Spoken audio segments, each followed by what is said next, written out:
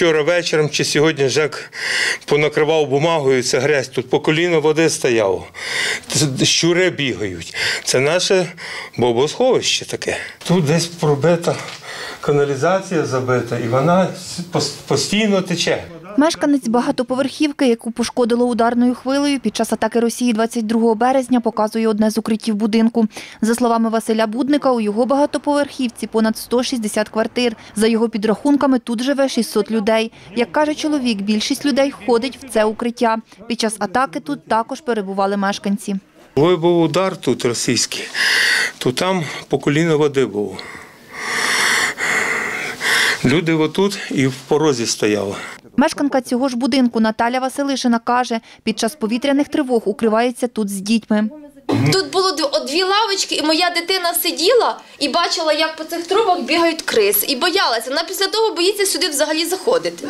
Тут дуже їдкий, важкий, затухлий запах, який це називається сморідний запах. І е, тут ми сидимо, сиділи два роки. Жінка каже, про стан укриття повідомили в управляючу муніципальну компанію. Сьогодні їм сказали, що мешканці повинні були укриватися в приміщенні поряд. Тут, за словами Василя Будника, підвали людей. Кожного свій підвал, де банки тримають, закрутки, свої люди. А це от самі просили Жак, дайте вапно, дайте, щоб собі якось обгородити це все.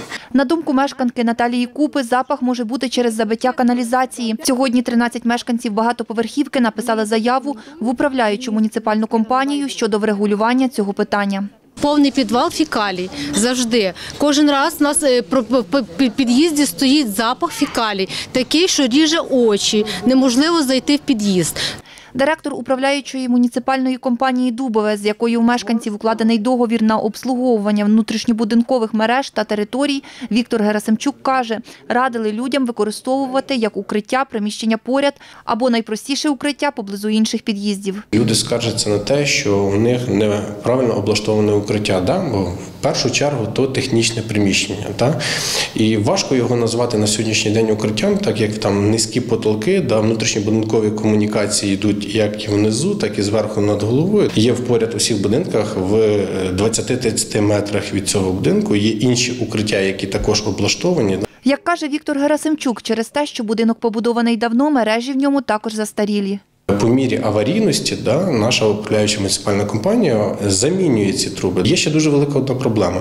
Є е, багато випадків, не тільки у нас, є несумлінні мешканці, тому що каналізація постійно забувається, неправильне користування. Як розповідає заступник начальника відділу Хмельницького районного управління Головного управління Державної служби з надзвичайних ситуацій Олександр Ленюк, переважна більшість населення України укривається в найпростіших укриттях. Якщо державними будівельними нормами регламентуються е, вимоги до зовнішніх огороджувальних конструкцій, сховищ та протирадіаційних укриттів, то нормативних, е, скажімо, документів до облаштування найпростіших укриттів немає. Як правило, таке укриття е, це мається на увазі підвальне приміщення. За словами Олександра Ленюка, є мінімальні вимоги до комплектації найпростіших укриттів для перебування людей в них до 48 годин. В першу чергу вони мають бути облаштовані місцями для сидіння, для лежання. Також має бути ємності з питною водою з розрахунку 2 літра на одну особу. Е, Якщо це е, немає централізованого водопостачання, водовідведення, мають бути ємності для виносу нечистот, а також ємності з технічною водою. Також дане приміщення або найпростіше укриття має бути облаштованими контейнерами е, для продуктів харчування. Як каже Олександр Ленюк, найпростіше укриття з одним виходом може бути розраховане до 50 людей. Вікторія Мельник, Дем'ян Цегольник, Суспільне новини, Хмельницький.